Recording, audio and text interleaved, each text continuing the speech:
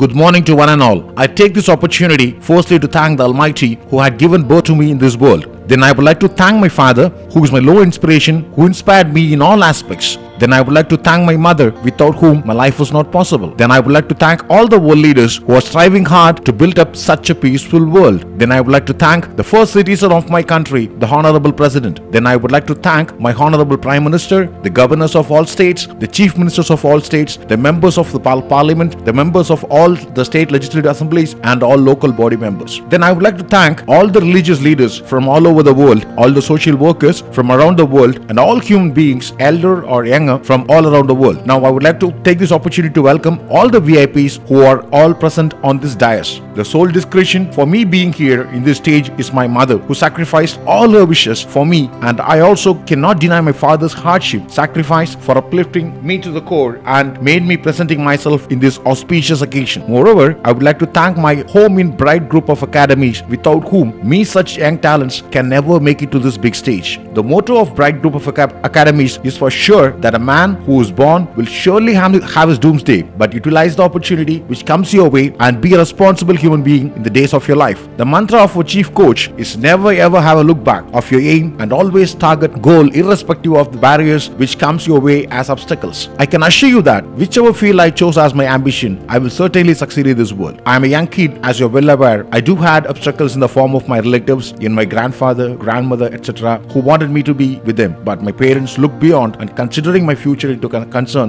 took me to this institute to nurture my talents. So, me being at the age of 21 right now holds a world record. Once again, I take this opportunity to thank my esteemed institute, all my coaches, Keith and Kim, who had encouraged me throughout in this short career of mine. Now, I'm going to speak a few words about the knowledge I earned from my coaches in this field. Drawing easel. An easel is an upright support used for displaying and fixing something resting upon it at an angle of about 20 degrees to the vertical. In particular, easels are traditionally used by painters to support a painting while they work on it, normally standing up, and are also sometimes used to display finished paintings.